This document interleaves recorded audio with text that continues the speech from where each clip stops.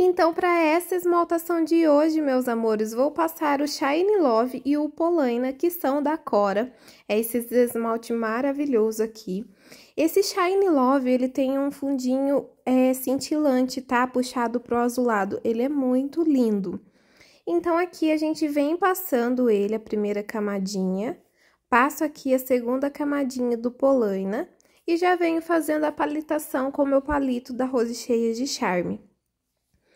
Fiz toda a palitação, vamos para a segunda camadinha. E olha para vocês ver que lindo que ele é. Ele é um pink muito bonito. Porém, depois eu fiquei pensando que eu queria fazer uma unha inspirada no filme da Barbie. Aí eu usei uma outra cor para ficar um pink mais um pouquinho escuro, porque esse pink aqui ele é bem clarinho. Aí eu não queria um tom puxado muito pro neon, eu queria um tom mais fechado. Então, eu passei uma outra cor em cima, tá?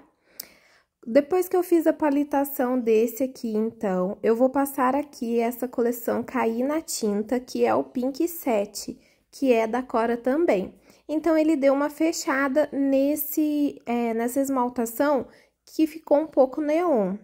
E eu gostei desse pink, meninas, assim, dos dois, porque os dois é muito lindo, tá?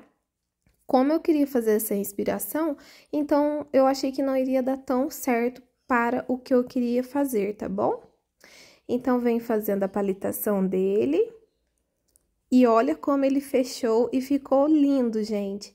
Vocês vão ver no final como que eu fiz essa inspiração bem delicada. Eu, eu gostei bastante, eu amo pink. Vocês também gostam de pink? Comenta aí. Agora, com o glitter da Mix da Jo, eu coloco o dedo lá dentro a seco e venho apertando em cima da unha.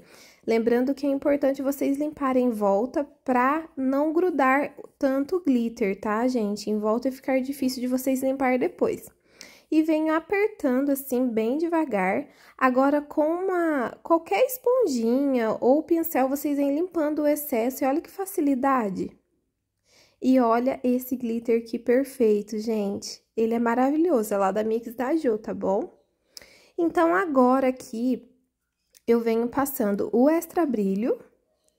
Antes da gente fazer a parte da decoração, né? Eu venho passando extra brilho. É muito importante passar o extra brilho no glitter, meninas, porque ele vai fixar e não vai deixar esse glitter sair, tá?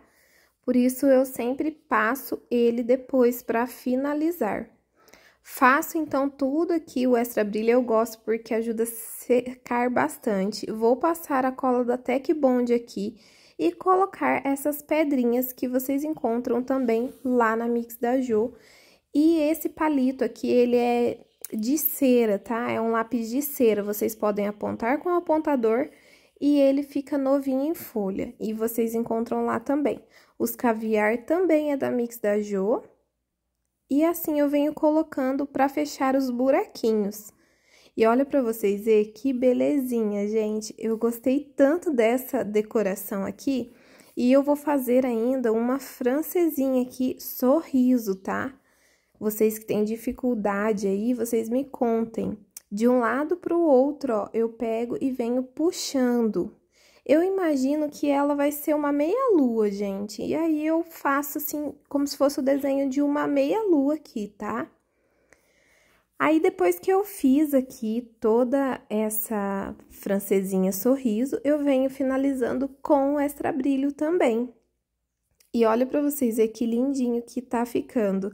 Vocês já fizeram unhas inspirada na Barbie ou ainda não fizeram, meninas? Me contem aqui. Olha como que ficou o resultado. Me contem se vocês gostaram.